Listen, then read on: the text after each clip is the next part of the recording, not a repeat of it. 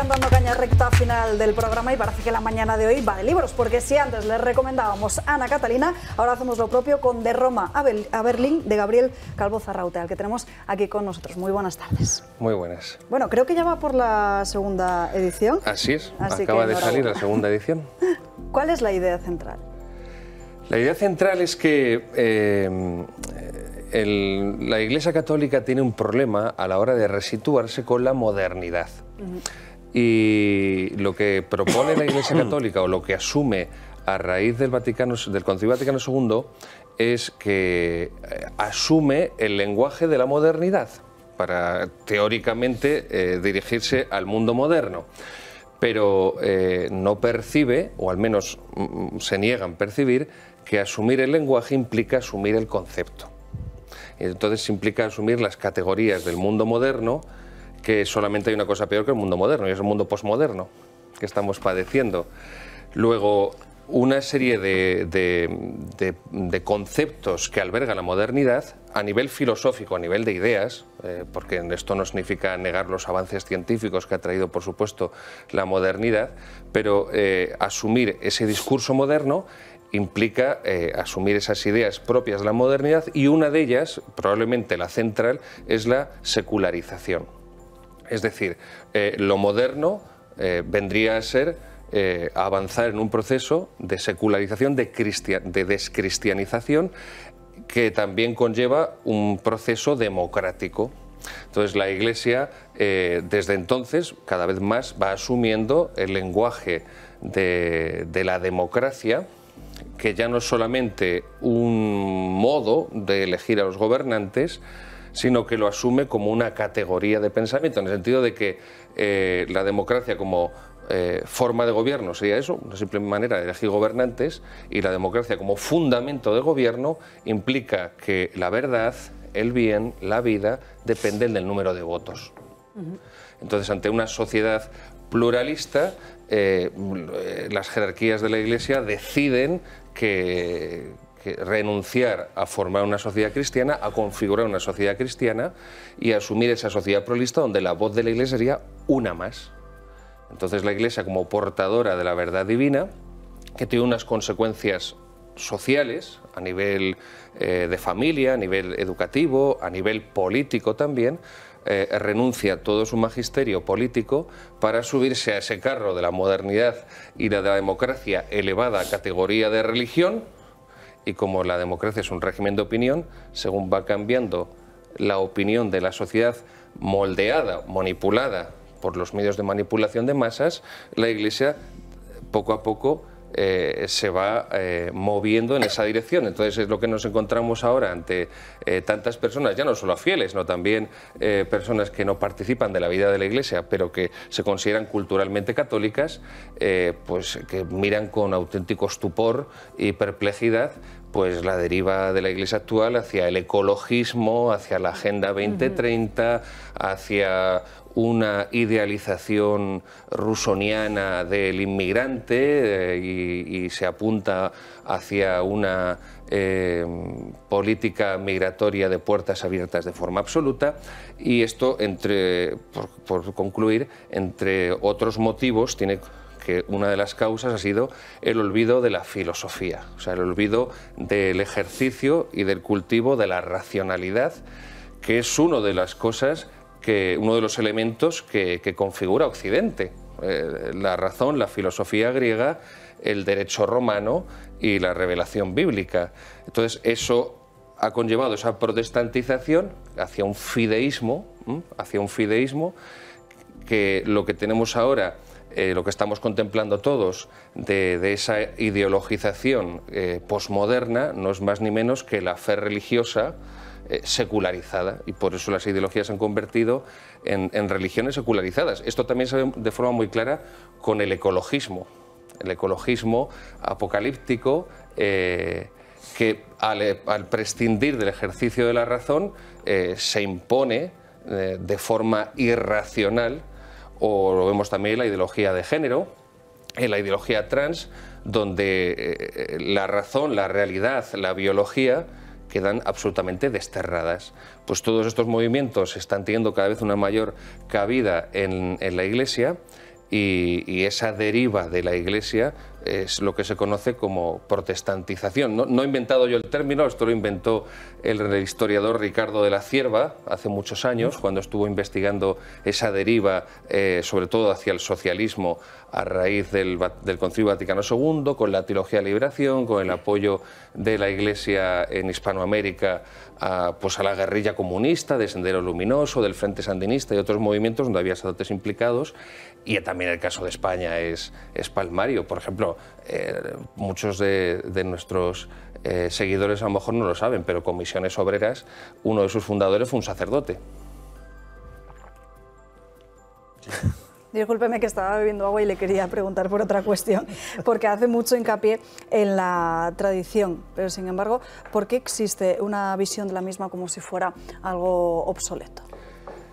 Es este, es este planteamiento de fondo de que se concibe la modernidad como idea, como filosofía, eh, con una ideología eh, mitológica del, progreso, la idea del progreso indefinido, o sea, y, ese progreso indefinido evidentemente implica un repudio y, un abandono eh, asqueado además y denigratorio de todo lo que sea tradición, en todos los sentidos, en todos los, eh, en todos los niveles, la tradición religiosa, la tradición cultural, la tradición lingüística, la tradición literaria, la tradición artística, la tradición política.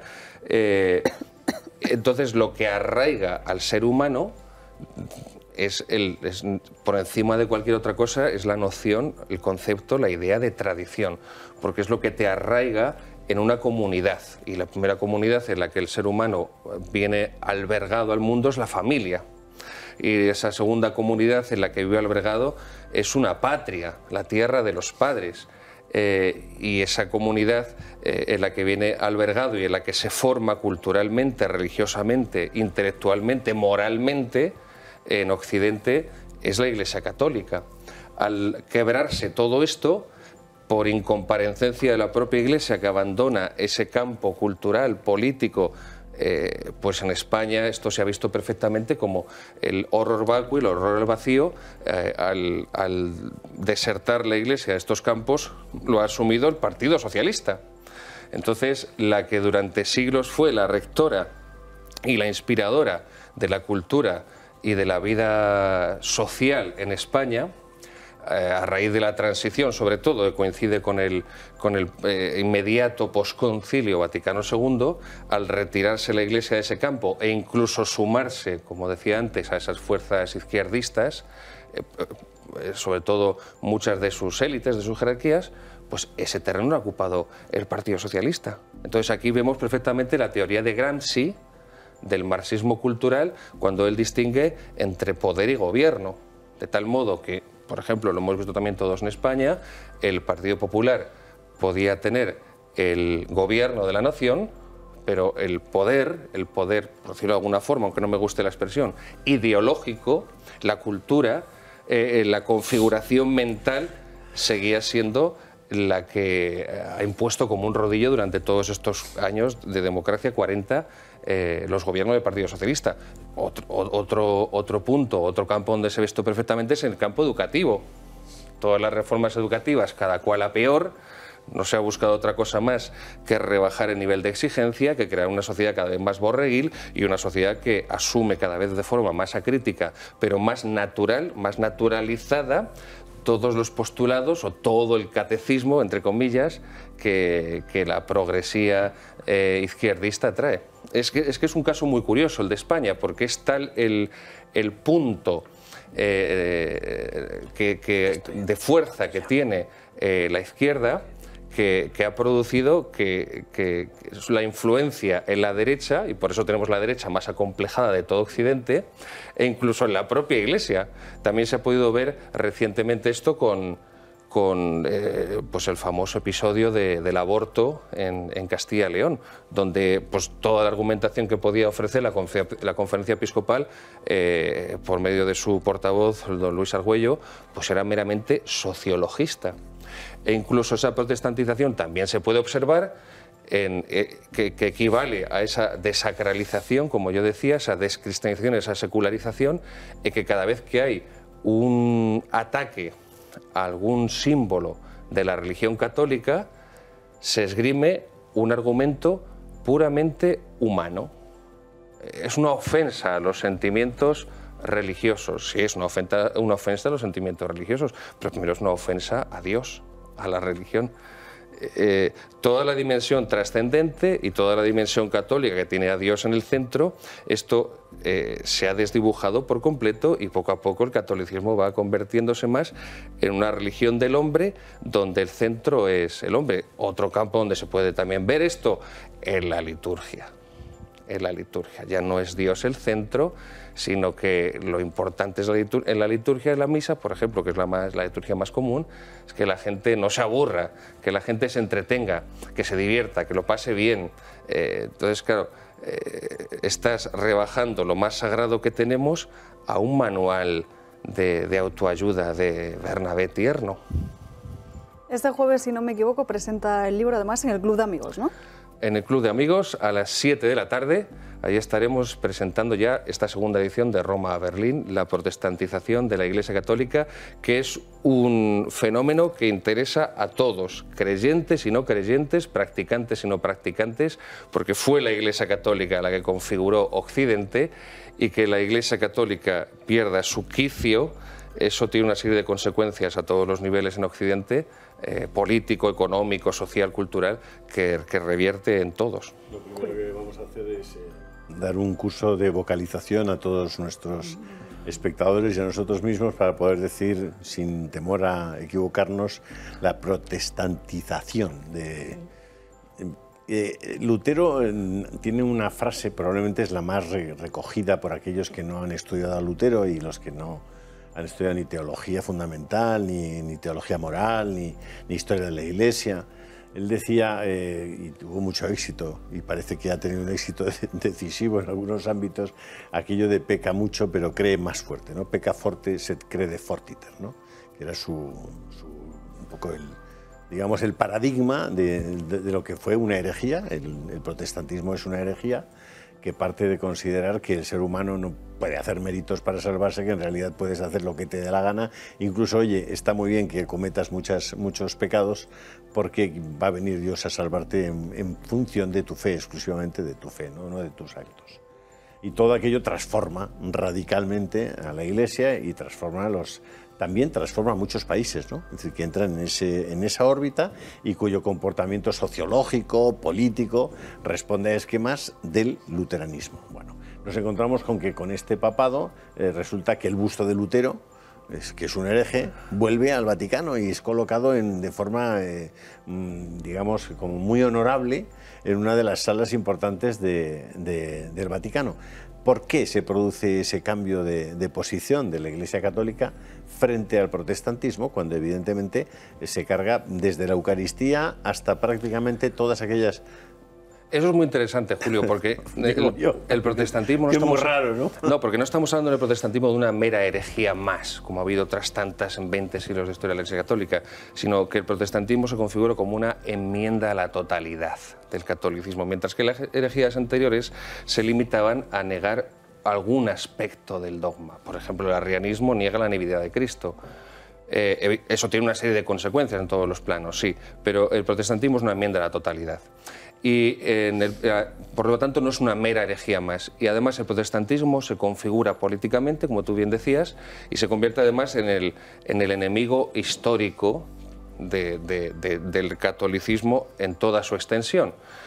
De tal modo que configura, como tú bien decías, a las naciones protestantes que hacen que ponen la religión al servicio de la política.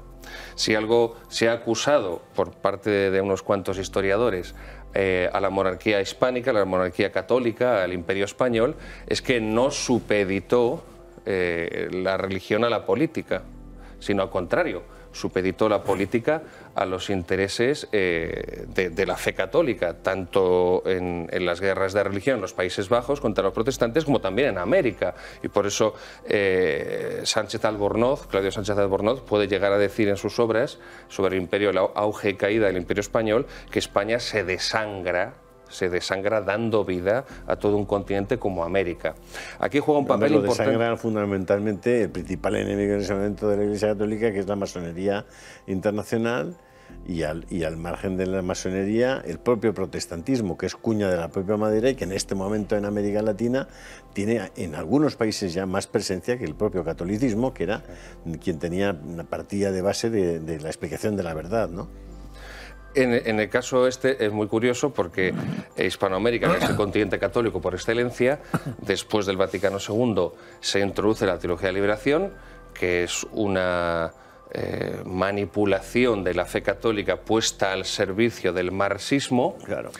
Eh, y eso ha producido eh, que millones de católicos en Hispanoamérica estén ahora pasándose a, puñados, por decirlo de una forma eh, popular, al protestantismo. Es muy curioso. Entonces, eh, el catolicismo en Hispanoamérica está pasando al protestantismo eh, a causa de, del comunismo, de la teología de liberación. Aquí juega un papel fundamental, y esto no se puede negar, y hay que tenerlo muy presente continuamente, los efectos de 500 años de propaganda de la leyenda negra.